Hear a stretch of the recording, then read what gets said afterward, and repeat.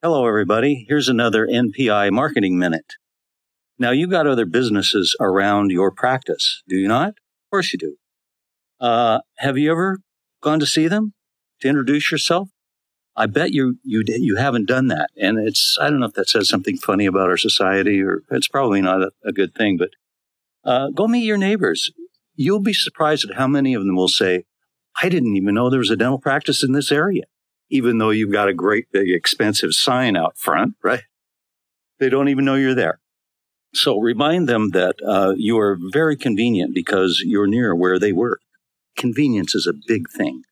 Go introduce yourself. Say hi. Let them know what you can do for them. All right. Try it out. Let us know how that goes. Thanks a lot. Bye now.